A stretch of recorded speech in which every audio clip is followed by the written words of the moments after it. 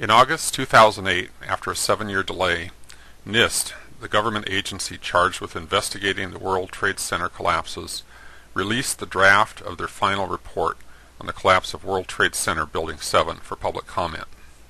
In that report, they claimed that the time for the building to fall the first 18 stories, that's the part of the collapse visible on many videos, was 40% longer than it would have taken had it been in free fall. I responded with a video posted on YouTube called WTC7 in Freefall, in which I showed that for approximately two and a half seconds, Building 7 fell at a rate indistinguishable from freefall. Furthermore, in that video I showed that NIST's methodology was not a valid way to analyze the true motion of the building. NIST's measurement was not just wrong, it was fraudulent. Then on August 26th, NIST staged a technical briefing in which engineers and others with technical credentials could pose questions. I am a high school physics teacher, so I figured I would be excluded. However, I went ahead and registered citing my membership in the American Association of Physics Teachers as my professional affiliation. By the way, I am not speaking for AAPT. That was just my passport into the briefing. To my surprise, my credentials were accepted and I was able to pose a question. Here's a little of how it went. Our next question comes from David Chandler of the American Association of Physics Teachers. Uh, any number of competent measurements using a variety of methods indicate the northwest corner of WTC7 fell with an acceleration within a few percent of the acceleration of gravity. Yet your report contradicts this, cl- claiming 40% slower than free fall based on a single data point. Uh, how can such a publicly visible, easily measurable quantity be set aside? Can you repeat the question, please? Sure. Uh, any number of measurements using a variety of methods indicate the northwest corner of WTC7 fell with an acceleration within a few percent of the acceleration of gravity. Yet the report contradicts this, claiming 40% slower than the free fall based on a single data point.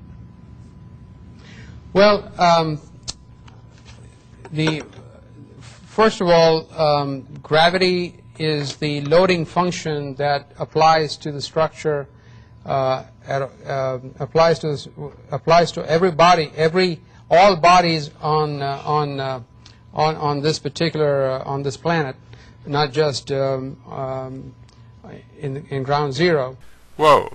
I'm used to responses like that on a physics exam when a student hasn't even bothered to open the book. But this is NIST speaking, so let's continue. Um, the uh, the analysis showed there's a difference in time between a free fall time. A free fall time would be an object that has no uh, structural components below it. Uh, and if you look at the analysis of the video, it shows that the time it takes for the 17 uh, for the, uh, the the roof line of the video to to uh, collapse down the 17 floors that you can actually see in the video, below which you can't see anything in the video, is about uh, 3.9 seconds. Uh, what the analysis shows and uh, the structural analysis shows or the collapse analysis shows it's that same time that it took for the structural model to come down from the roof line all the way for those 17 floors to disappear is um, 5.4 seconds. It's uh, about 1.5 uh, uh, seconds or roughly 40% more time for that free fall to happen. And that is not at all unusual because there, there was structural resistance that was provided in this particular case. And you had, uh, you had a sequence of structural failures that had to take place and where everything was not instantaneous. Buried in all that verbiage, what Dr. Sunder is saying is, free fall for the 18 stories under consideration would have taken 3.9 seconds.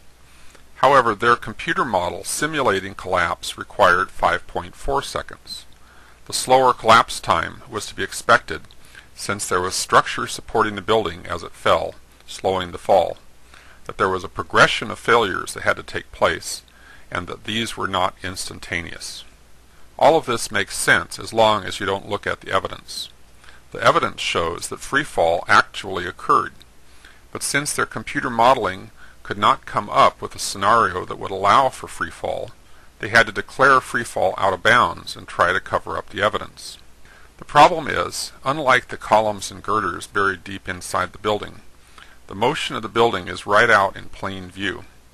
Since their model predicted 5.4 seconds for the 18-story collapse, they dutifully conjured up a 5.4 second measurement to match.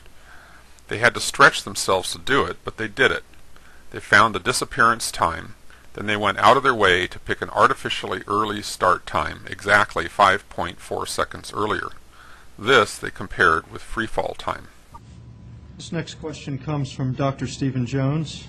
Uh, NIST discusses the fall time for WTC-7 on page 40 of the summary report, where uh, stated, assuming that the descent speed was approximately constant. However, observations uh, by others of the descent speed show that the building is accelerating uh, rather than uh, being at constant speed. Uh, So the question is, why did NIST assume that the descent speed was approximately constant? Steven Jones was calling attention to the obviously erroneous claim on page 40 of the draft report that stated that the building descended at constant speed. I'm sure constant speed was a simple misstatement. The correct response should have been, whoops, we'll fix that. But no, here's how they handled that question.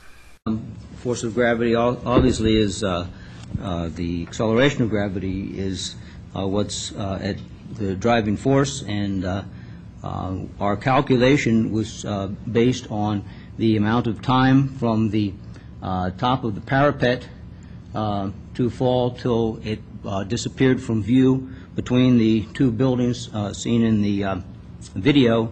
Uh, That um, uh, time was uh, established from the uh, video uh, by uh, single frame um, um, search of the, of the uh, time, so that was down to one-thirtieth of a second. Um, And then we did the same thing for when the top of the parapet uh, disappeared. Uh, We found that, um, that time to be uh, 5.4 seconds. I didn't hear a whoops in there, did you? This is John Gross, one of the lead engineers for the NIST report on the collapse of the Twin Towers. He has a PhD in structural engineering from Cornell University.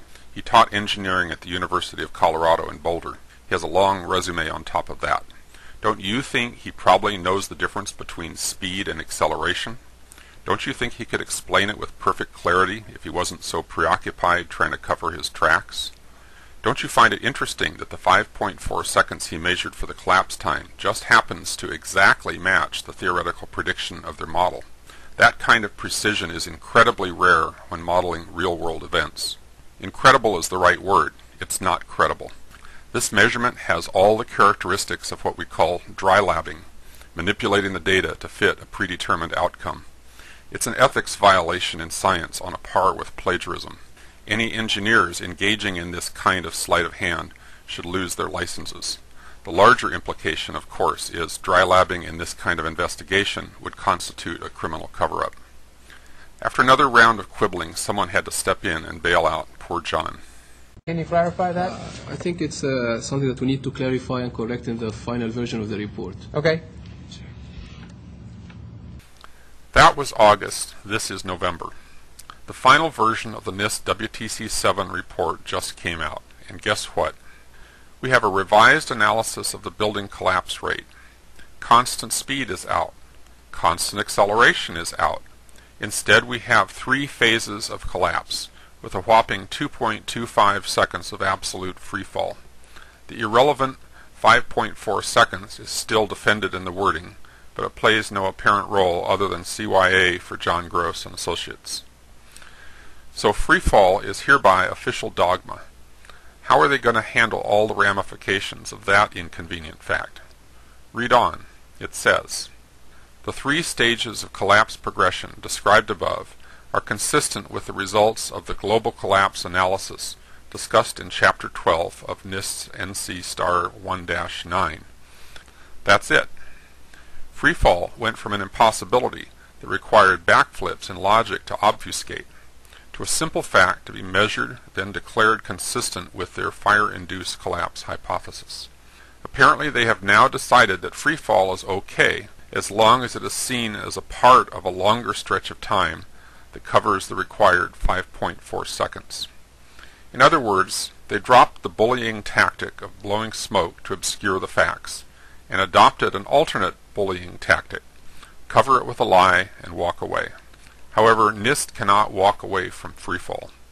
Now that NIST has certified freefall as fact, take a look at the implications.